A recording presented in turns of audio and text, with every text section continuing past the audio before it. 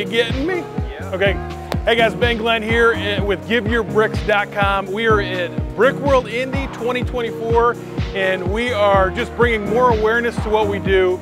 We collect Lego all year long, and we give it to all of the local children's hospital. And to even add more fun to it, uh, we've got our little Lego display build here. Um, we did Spaceship Benny, got t-shirts and everything because my name is Ben, and these are classic sets from the 80s with a little bit of flair.